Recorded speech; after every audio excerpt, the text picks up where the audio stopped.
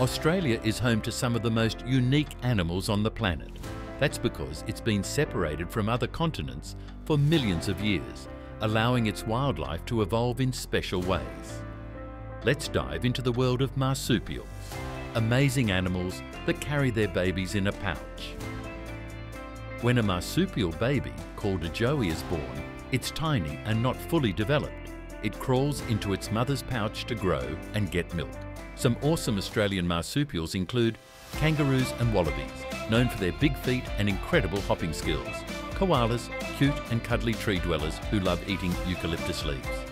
Wombats and the Tasmanian devil, each with their own unique traits. Sugar gliders, small marsupials that can glide through the air.